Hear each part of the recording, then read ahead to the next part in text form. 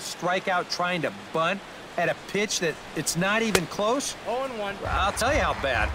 Real bad. Dae-Ho Lee swings and misses there, so he's down 0-1. And here's a swing and a miss as he falls behind nothing in two. And this is what you like to see, especially coming off of a loss in his last start. These first couple innings, he's coming right after guys. Here's a swing, and oh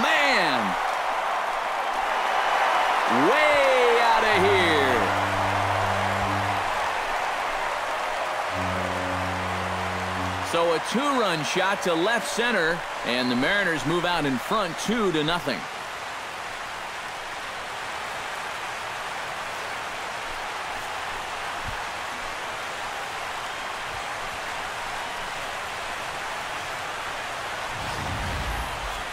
Boy, that guy on the mound right now is absolutely livid. He knows that he threw way too hittable of a pitch in the situation when he's ahead in the count like that. He should be mad at himself.